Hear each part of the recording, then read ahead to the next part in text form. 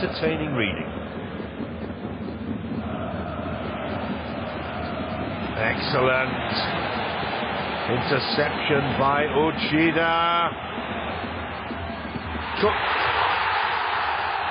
The deadlock has been broken. What a great run by Atsuto Uchida. What a way to celebrate.